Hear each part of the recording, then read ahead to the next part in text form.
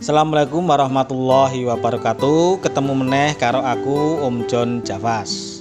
Ana ing wektu dina iki aku arep ngekeki video tutorial tip carane nggawe kupat utawa ketupat.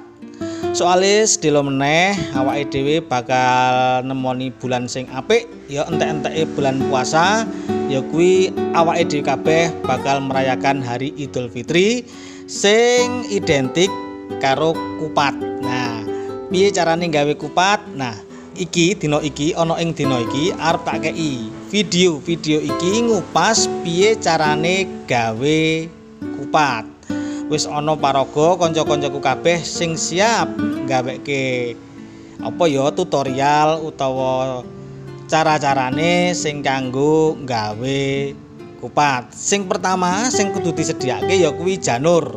Men kita gampang carane gawe nek iso sediakno janur sing warnane werna loro ya kuwi kuning karo sing semu ijo.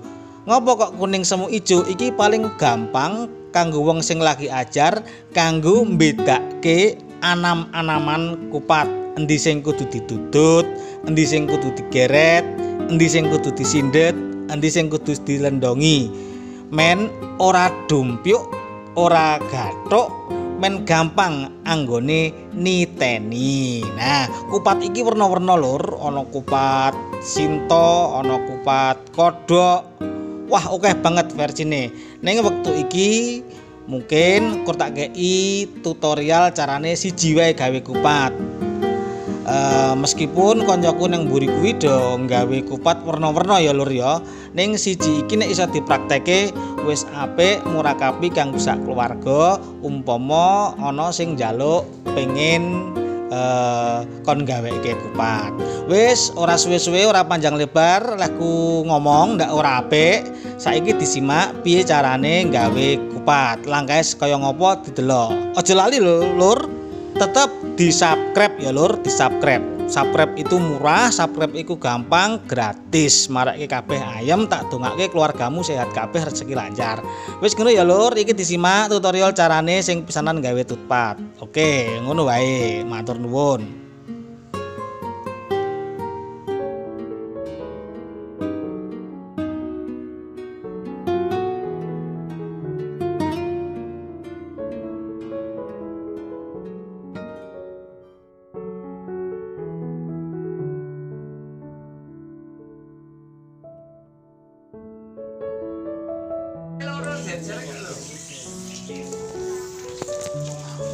ini terus lempung dhewe Wah,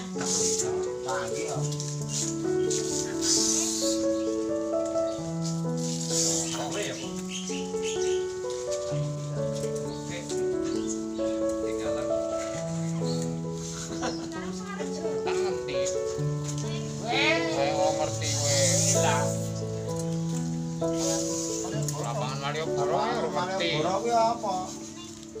Ijo. Lah kuning. Lapangan Malioboro lapangan Iya. Malioboro ini saya sih suwe masalah itu saya sih Jawa dipot aduh. Aduh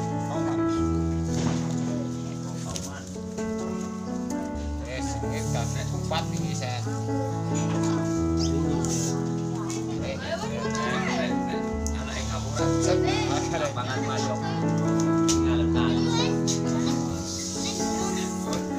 ayo tunggali anak tadi au. ya